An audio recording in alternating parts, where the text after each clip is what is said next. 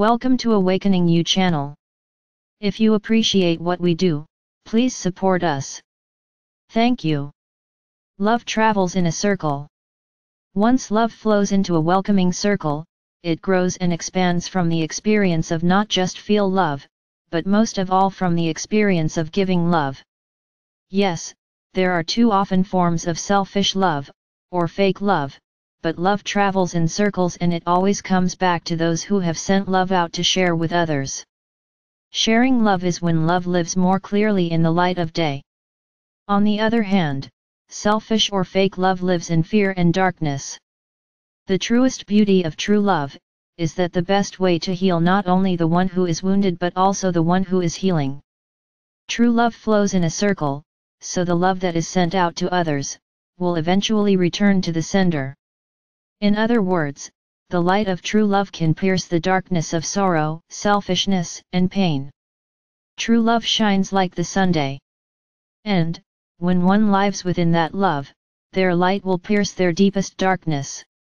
We would like to say that all those who live in love would not experience pain, harm, or disappointment, but we cannot. Gaia is a learning planet, and many souls take an embodiment on Gaia to learn about love. Many have learned about love, and many have not. But now the inhabitants of Gaia have a great challenge. Those who are only able to love money and things have done great damage to beloved Gaia. Therefore, those who can love are being called on to send their love to Gaia. However, this love that they send to Gaia cannot be passive love. The love that humanity is called on to send to Gaia is active love, which is based on each human member of Gaia, as most, if not all, the damage to Gaia was initiated in some manner via humans, is called on to discover the manner in which each and every human has gone inside to find the manner that they said they would assist Gaia before they took their present incarnation. This assistance for Gaia is based on the same unconditional love that Gaia has sent to humanity. It is the now for humanity to think about Gaia first. After all, would it be worse for humanity than to experience the destruction of their home planet? If one just looks at how many disasters have occurred on Gaia over just one human lifetime. We galactics have chosen, at great sacrifice, to take a human Earth vessel in hopes that somehow we can influence humanity to put Mother Earth first. After all, if Earth becomes uninhabitable, where would they put their fancy houses, their expensive toys, fancy cars, and huge boats? All these human toys are harming Gaia in more ways that humans wish to know. But, the longer it takes for humans to face the truth, the more difficult it will be for humans to heal the planet that they have been harming. If humans do not heal Gaia, where will they put their fancy houses, their huge cars and their fast boats?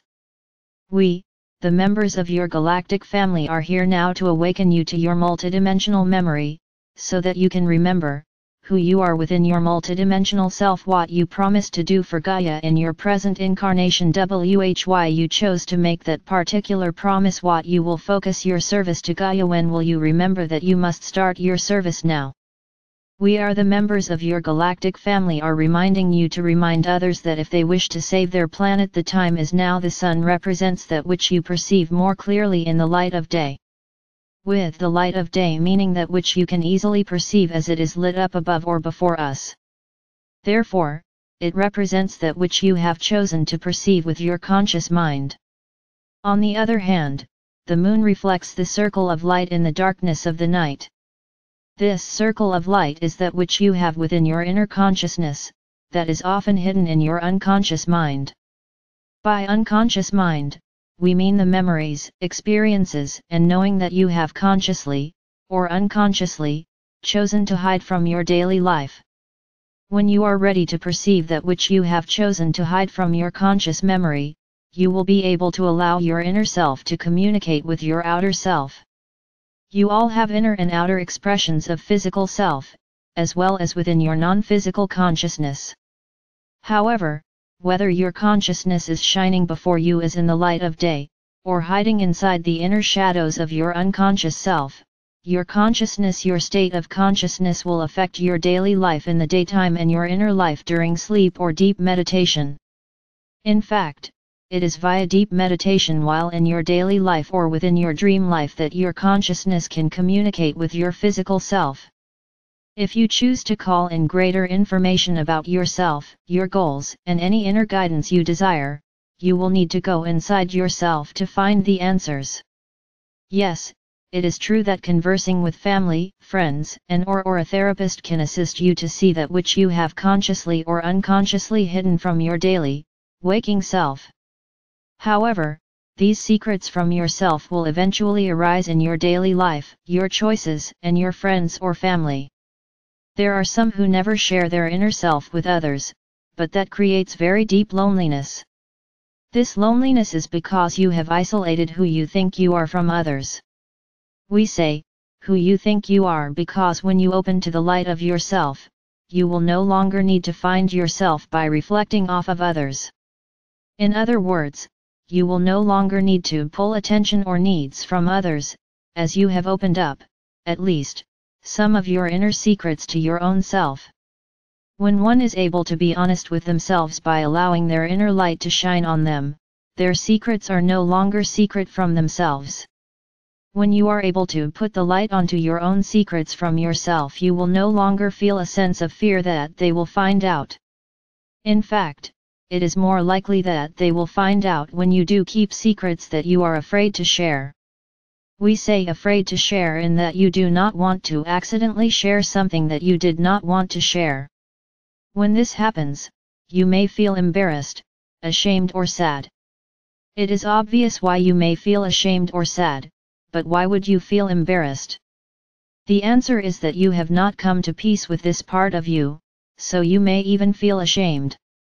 We, your galactic family, want you all to know that all of you have higher dimensional expressions of yourself who resides in the higher dimensional worlds and or or starships.